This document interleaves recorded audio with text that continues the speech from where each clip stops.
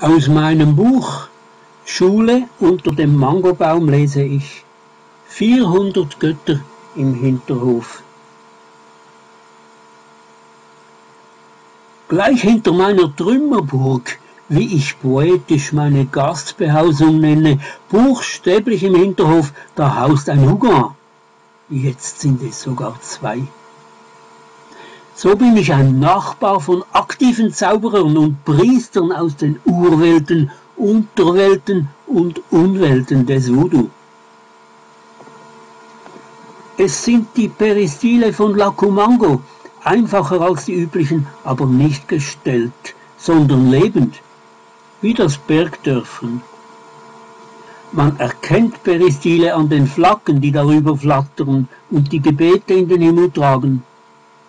Hier sind es zwei benachbarte an eigenen Masten, beide in drei senkrechte Farbstreifen ohne Embleme geteilt, schwarz, violett und weiß und schwarz, grün und rot. Gelegentlich wechseln die Farben oder verbleichen. Über ihre Bedeutung kann ich auch nichts sagen. Die Uga gaben auf Befragung keine Auskunft, das sei heiliges Berufsgeheimnis und bei Zauberern und Magiern heißt es aufpassen. Die sollen sogar auf Distanz töten können.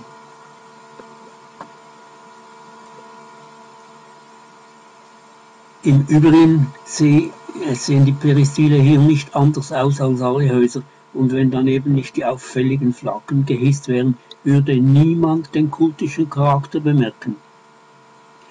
Es sind einfache Gotteshäuser, wie alle Häuser aus selbst fabrizierten, luftgetrockneten Zementblocksteinen, fensterlos, mit offenen Türöffnungen und Wellblechdach ausgestattet.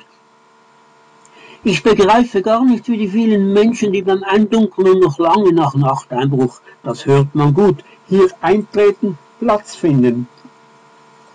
Sitzplatz scheidet ohnehin aus und nachts über drin bleiben mit Trommelgeräuschen und unbekannten Gottesgeschäften. Ob nur einzelne Götter oder alle 400 Platz finden müssen, spielt keine Rolle.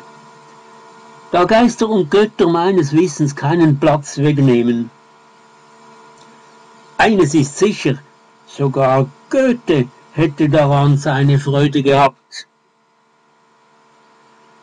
Der Hauptinitiant der Sklavenbefreiung, Duty Bookman der Name, sagt alles, war ein einbeiniger, schreibkundiger Linkshänder und Uga, der aus Jamaika kam und dem 1791 in Haiti und in der Folge in der dritten Welt über die Voodoo-Strukturen der Sieg über die Sklaverei gelang.